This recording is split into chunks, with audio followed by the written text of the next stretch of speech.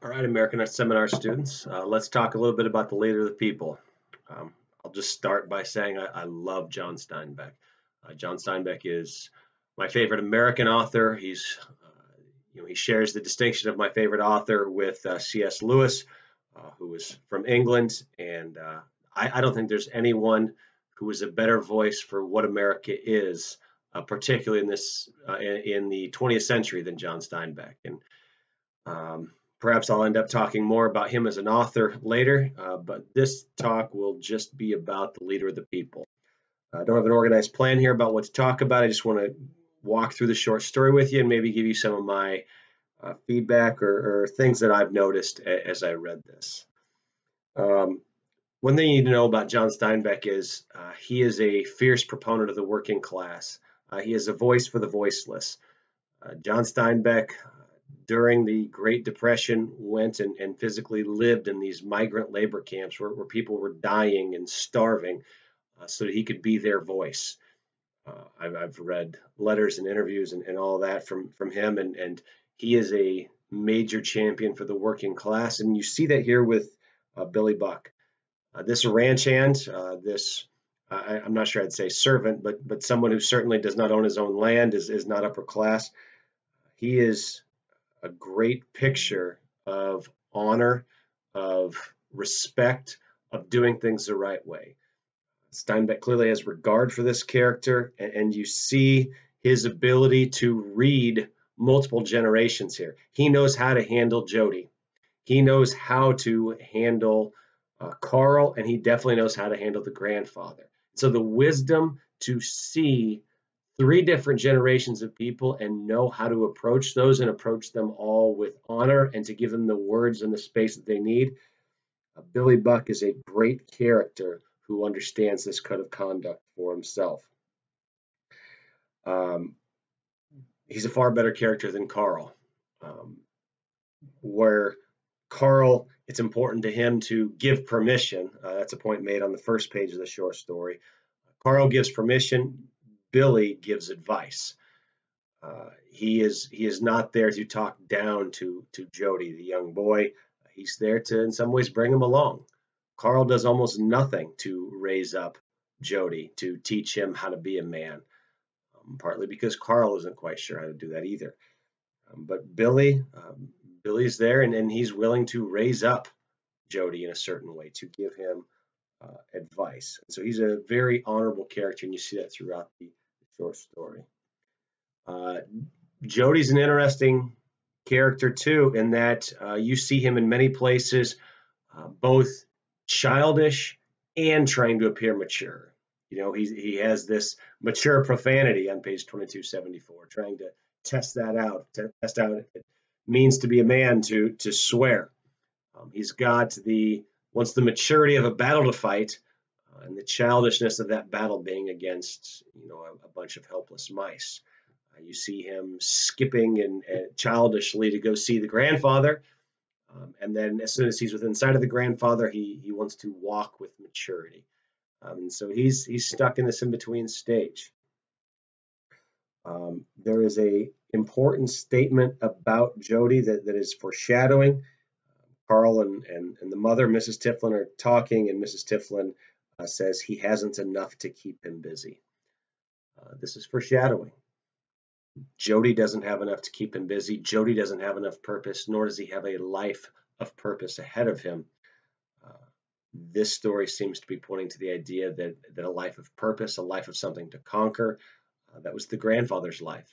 And the fear is that that, that is no longer um, around.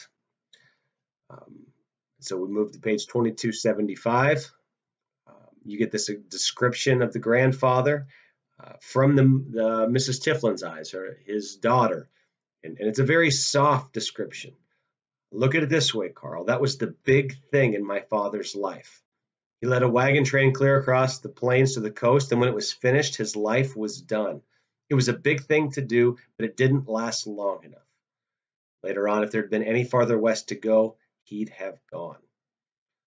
Well, the bottom line is his father, uh, I'm sorry, her father did have something big in his life. He had something, he had a purpose, he had something worth doing, uh, something that was dangerous. Uh, uh, he had a, a group to lead, a job to do, and it meant everything to him. And without that purpose, uh, he now is left to try to pass down that idea of purpose to other generations. And you see Carl certainly unwilling to want or hear uh, that message.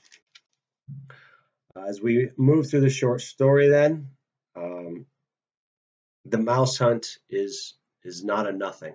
Uh, it matters.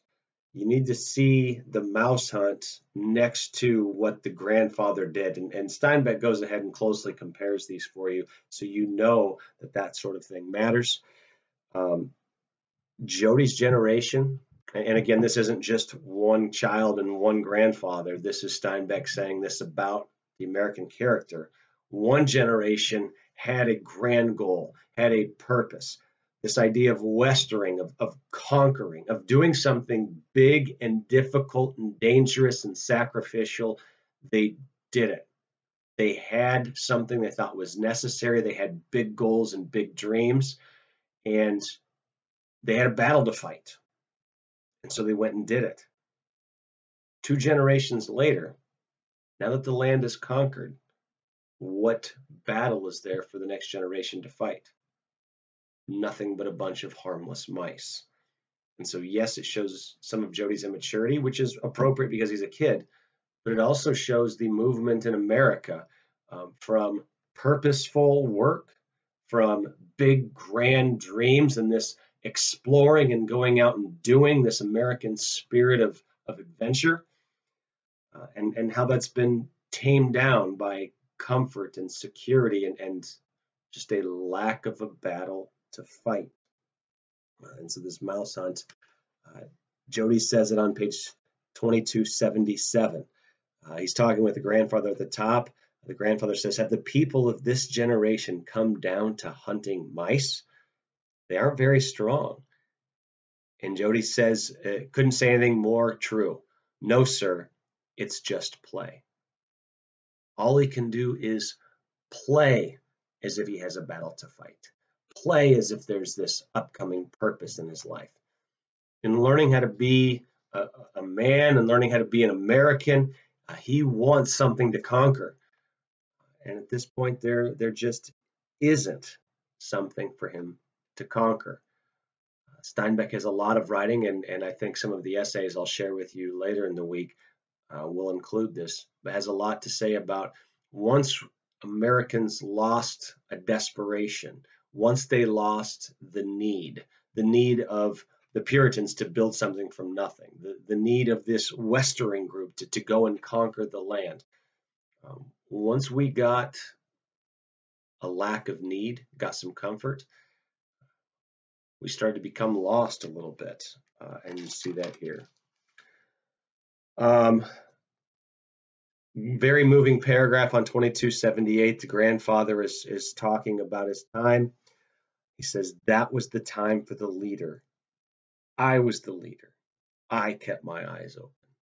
I had something to do. I had something that mattered in my life, that mattered to a great number of, of people. Um, see more of that on 2280 um, at towards the top, Jody lay in his bed and thought of the impossible world of Indians and of buffaloes, a world that had ceased to be forever. He wished that he could have been living in the heroic time, but he knew he was not of heroic timber. Again, Steinbeck commenting on generations in America, not just this character. No one living now, save possibly Billy Buck, was worthy to do the things that had been done. A race of giants had lived then, fearless men, men of staunchness unknown in this day. And Carl says it later on the next page. That time's done. It's finished. Why can't he forget it? That's more of an uh, indictment on Carl than it is on the grandfather. That time's done. That time of acts of bravery, of acts of purpose. Um, the grandma, uh, the grandfather talks more about it on 22 uh, 82 on, on, at the end of the short story. Um, it wasn't Indians that were important, nor adventures, nor even getting out here. It was a whole bunch of people made into one big crawling beast. And I was the head. It was Americans in something together. And he was helping to lead it. He had a role to play in something far grander than just his own. Uh, it wasn't just his comfort on the line. It wasn't just his desires. It was all of America in it together, and he was the he was the leader. Uh, it was the movement. It was Westering. Um, he, he had a purpose. He had a battle to fight. He had something that mattered. Um, we carried life out here and set it down the way those ants carry eggs, and I was the leader. The Westering was as big as God, and the slow steps that made the movement piled up and piled up until the continent was crossed. And he says, There's no place to go now. There's the ocean to stop you. Westering has died out of the people. Westering isn't a hunger anymore. It's all done. Steinbeck is saying what is done is this hunger, this passion, this ability to do something as this great mass of people. Um, or at least Steinbeck wants to poke Americans into asking, are we capable of this anymore? when you don't have this great need, when you don't have a great purpose in front of you, you get lost, you wander. Uh, and in America, you get very focused on self and comfort and luxury um, rather than purpose. And, and I, I know Steinbeck would argue uh, much to your dismay. You will not have the joy uh, chasing those things as opposed to chasing purpose. It's a major theme in a lot of his works. Um, I've read just about every letter he's ever written. He writes about that all the time. He lived that. Uh, man, he was him hitting it big with Of Mice and Men, him getting money, made him miserable. He thought life was so much better when he was scraping by. He didn't turn the money away. He certainly lived with it, and it allowed him to do a lot of things that helped him later in his career. But there were some major issues with that. And, and when he didn't have a purpose, um, when he didn't have a book to write that he thought was going to change America, when he didn't have the lower class, the working class to write about and fight for, in his life he wandered. Anytime he was purposeless, he wasn't happy. This is a great story of, of two generations, three generations really, um, trying to find purpose or not trying to find it um, and seeing the consequences of that. Um, so that's just a quick flyby of the text. I, I, would love to know what stood out to you from it. I hope you've written about it. I hope you've read it. And I hope that my comments have helped you see into the short story a little bit.